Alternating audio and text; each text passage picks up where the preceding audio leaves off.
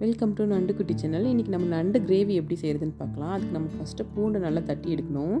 பூண்டு உரிக்கிறது தான் ரொம்ப கஷ்டமான வேலைங்க. ஸோ அதுக்கான ஈஸியான மெத்தட் வந்து நான் அந்த உரல் வச்சு லைட்டாக தட்டினாலே அந்த பூண்டோட தோல் வந்து நமக்கு ஈஸியாக வந்துடும் ஸோ அதை வச்சு தான் நான் தட்டுவேன். இதுக்கு நான் நண்டு சட்டின்னு பேர் வச்சுருக்கேன். ஏன்னா நண்டு செய்ய அகலமான பாத்திரம் வேணும்ன்ட்டு ரொம்பவே தேடி அலைஞ்சு வாங்கின இந்த சட்டி எனக்கு ரொம்பவே ஸ்பெஷலானது சரி ஓகே இப்போ எப்படி செய்கிறதுன்னு பார்க்கலாம்.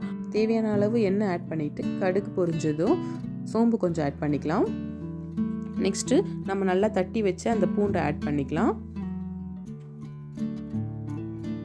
ஒரு மூணு பச்சை மிளகாய் எடுத்துருக்கேன். உங்கள் காரத்துக்கு ஏற்ற மாதிரி நீங்கள் எவ்வளோ வேணுமோ அதை எடுத்துக்கலாம். பொடியாக நுறுக்கி வச்ச வெங்காயத்தை நம்ம ஆட் பண்ணிக்கலாம். கருவேப்பிலை கொஞ்சம் ஆட் பண்ணிவிட்டு நல்லா வதக்கி விடுங்க. ரொம்ப நேரம் வதக்கணும்னு அவசியம் இல்லை. பொன்னிறமாக வதக்க வதக்கினாலே போதும். இன்றைக்கி நான் ரெண்டு பெரிய வெங்காயம் ரெண்டு மீடியம் சைஸ் தக்காளி நான் இதுக்கு எடுத்திருக்கேன். தக்காளி நல்லா பொடியாக கட் பண்ணி ஆட் பண்ணிவிட்டு நம்ம நல்லா வதக்கி விட்டுக்கலாம்.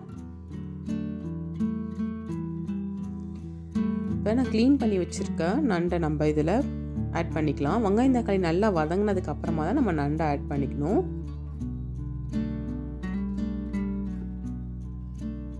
நண்டை வந்து ரொம்ப நேரம் நம்ம வதக்கிக்கிட்டே இருக்க தேவையில்லை. நண்டு போட்டுட்டு நல்லா அது மிக்ஸ் ஆகிற அளவுக்கு எல்லாத்தையும் கிளறி விட்டுட்டு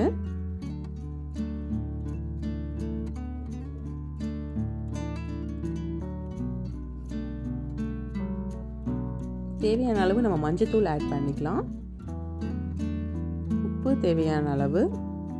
இன்றைக்கி நான் குழம்பு மிளகாத்தூள் தான் இதுக்கு யூஸ் பண்ணியிருக்கேன். ஸோ ரெண்டு ரெண்டு ஸ்பூன் மிளகாத்தூள் நான் யூஸ் பண்ணியிருக்கேன். உங்களுக்கு காரம் எப்படியோ அதுக்கேற்ற மாதிரி நீங்கள் யூஸ் பண்ணிக்கலாம். தேவையான அளவு தண்ணி ஊற்றிட்டு நம்ம இதை மூடி வச்சிடலாம். அதிகமான தண்ணியை ஊற்ற வேணாம். நம்ம தேவையான அந்த நண்டு முழுகிறதுக்கு அளவுக்கு கொஞ்சம் கீழே இருக்கிற மாதிரி நம்ம தண்ணியை ஊற்றி வச்சுக்கலாம். நண்டு சீக்கிரமாகவே வெந்துடும் அதனால் ரொம்ப அதிக தண்ணி தேவையில்லை. இப்போ ஒரு தட்டு போட்டு மூடி வச்சுருங்க. இது நல்லா கொதிக்கட்டும். அந்த மிளகாத்தூள் ஸ்மெல்லாம் போனதுக்கு அப்புறமா நம்ம ஒரு ஜாரில் வந்து தேங்காய் கொஞ்சம் சோம்பு கொஞ்சம் ஜீரகம்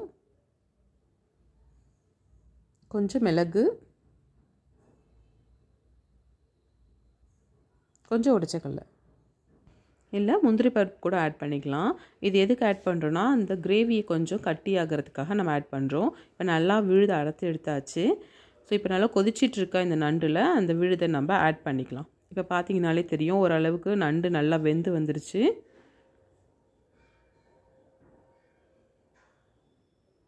நம்ம அரைச்சி வச்சுருக்கிறத ஆட் பண்ணி கொஞ்சம் தேவையான அளவு அது தண்ணியை நம்ம கலந்து ஊற்றிக்கலாம் நல்லா மிக்ஸ் பண்ணி விட்டுடலாம் இது கொஞ்சம் நேரம் கொதிச்சிட்டாலே நமக்கு கட்டியான பதம். இப்போ நான் இன்றைக்கி கிரேவி பதத்தில் எடுத்திருக்கேன். உங்களுக்கு ஒன்றும் செமி கிரேவியாக வேணும்னா நல்லா சிம்மில் போட்டு கொஞ்சம் நேரம் விட்டிங்கன்னா அது நல்லா செமி கிரேவியாக ஆகிடும் ஸோ அவ்வளோதாங்க நண்டு கிரேவி ரெடி ஆகிடுச்சு நீங்களும் இதை ட்ரை பண்ணி பார்த்துட்டு கமெண்ட்ஸில் சொல்லுங்கள் எப்படி இருக்குன்னு. தேங்க்யூ ஃபார் வாட்சிங்